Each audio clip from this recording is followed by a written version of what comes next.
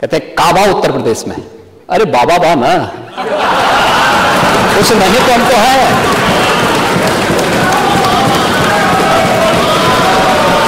उससे भी परेशान है। परेशानी तो हर की समझी जा सकती है।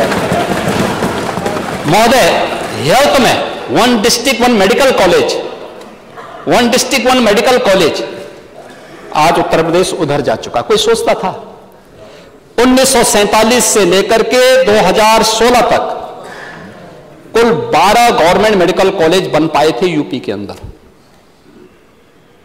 आज उत्तर प्रदेश के अंदर 16 जनपदों को छोड़ दें तो सभी जनपदों में एक मेडिकल कॉलेज की स्थापना हो चुकी है और 16 में भी हम लोग युद्ध स्तर पर कार्यक्रम को आगे बढ़ा रहे हैं।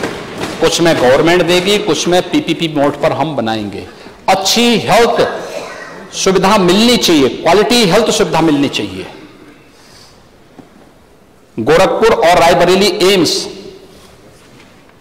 आज क्रियाशील हो चुके हैं।